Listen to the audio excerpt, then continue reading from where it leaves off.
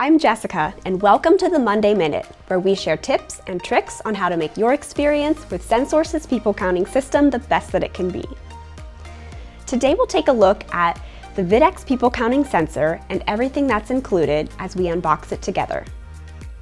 The VidX is our most popular model. It's the go-to for standard applications, and we have over 10,000 sensors installed to date.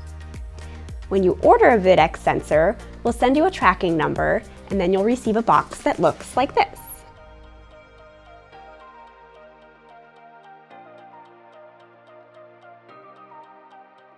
Inside, you'll find a set of instruction sheets, a sensor, an Ethernet patch cable, a surface mounting kit, and some optional items that may be included are a PoE injector with a second patch cable and a pivot mount. Let's take a closer look at each of these items.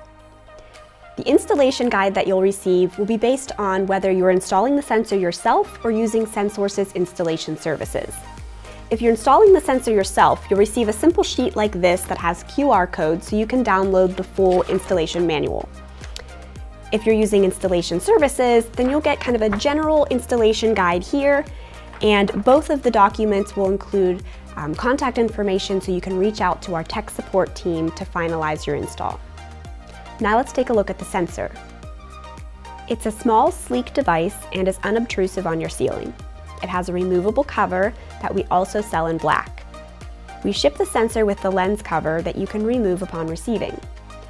These holes next to the lenses are where your mounting screws will be inserted. In the bottom corner, there's an LED to help with troubleshooting and knowing when your sensor is powered.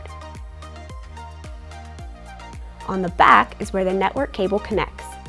The green sticker indicates which entrance or location the sensor is programmed for. This is very important when installing sensors at multiple locations within your building. There's also a white sticker with an arrow to note which direction the sensor is to be mounted. You want the arrow to be pointing inside the building.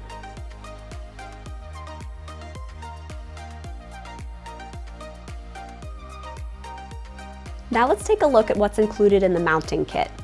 We include everything you'll need to surface mount the sensor to a drop tile ceiling or a fixed ceiling type. We also include a paper template so you can mark the placement of the screws and where you'll drill the hole for the network jack. For a drop tile ceiling, you'll use this set of screws with the washers and nuts.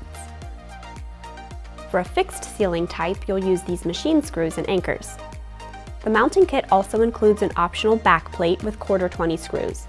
You'll only need this if you're using a mounting accessory like an extension pole or pivot mount. This is what the optional pivot mount looks like. It's pretty common, especially for ceilings that are slightly sloped or have some obstructions in the way of the sensor's view that require it to be dropped down a few inches. The last items are for performing a short cable pre-communication test. If your switch is PoE, you'll just use a single patch cable and connect your sensor to your switch. If it's not PoE, you'll use both patch cables and the PoE injector. If you have any additional questions about the pre-communication test, please refer to your included instruction manual.